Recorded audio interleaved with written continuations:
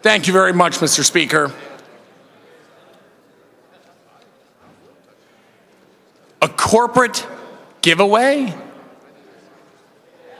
Through the impact fee in the first year alone, $190 million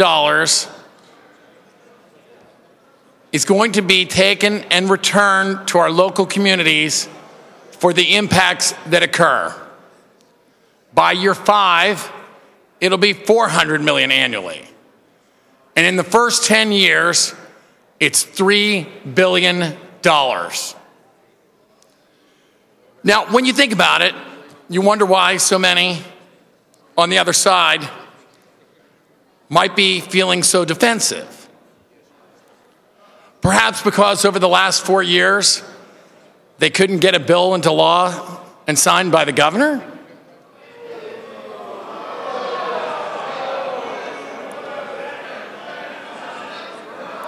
Let's be honest.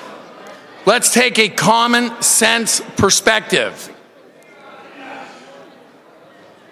Natural gas was discovered in the further depths and has presented great opportunities for landowners, for communities, for people who are looking to have family sustaining employment, for corporate headquarters to come in, to have access to cleaner natural gas, to be able to use it in equipment, in dryers for your homes, hot water heaters, stoves. The development of the natural gas industry here in Pennsylvania has been a significant positive, but we need to do it in a responsible manner. So much time has been spent on discussing how to properly manage the growth of the Marcellus natural gas industry such that we get all the positives and still get environmental protection and still get a return of dollars to our local communities for the impacts that have occurred in that development. This is a very, very common sense solution, folks, in the end, because we have one question in front of us. We want to continue to develop natural gas because it benefits consumers, it benefits employees and employers, and it benefits those private property owners who have it on their land. But we want to do it in a balanced way that protects citizens, protects the environment, and makes sure that some of the earnings is returned particularly to the local communities to deal with the impacts at hand. That's it. You can get into all the specific details, but either you are for a common sense, balanced approach to the development of the natural gas discovery, or you are just always no. You don't get to have it both ways. Oh, I'd like more money but I don't want to vote yes because it can always be more. I want more regulations, or you can vote no. I want more return of the dollar to the local communities for the impacts, or you can be no. You can actually seek predictability and sustainability in the industry so that it continues to flourish, or you can be no. The reality is, we are on the verge of being able to place a bill on the governor's desk, a bill that admittedly he has sought that has gone to a conference committee, passed the Senate, passed our chamber, and become law so that we can move to the other important agenda items in front of us.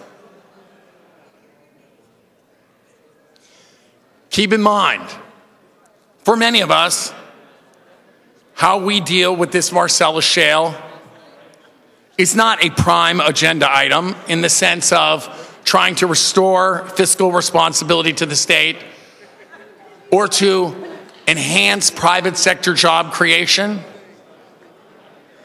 But it is an issue that has developed because of the discovery of natural gas in these further depths in a significant part of our state. And caring people want to make sure that it flourishes for the family sustaining jobs, for the royalties to the property owners, for the headquarters, for the ancillary businesses, for the consumers, while at the same time protecting citizens and the environment. It is a balance. In any person, you can find 101 reasons not to be for something, but you can only find one reason to get to yes because you are ready to govern and be a part of a solution. And we on our side, with many, I think, colleagues on the other side, are about governing and are about solutions. And we have the opportunity to provide that solution today with finality by voting yes and putting this on the governor's desk. Then we can talk more about fiscal responsibility. We can talk more about private sector job creation because that's where we need to head by getting this done today. I think it is important that people recognize that it is a levying of an impact fee on natural gas development. Impact fees have been around for some time, and they first emerged in the late 1970s as a result of taxpayer concerns and reductions in federal and state aid for local infrastructure. That's how an impact fee developed. Currently, many states, counties, and local governments across the country engage in some form of impact fee to help provide the funding necessary for critical infrastructure and other important community needs.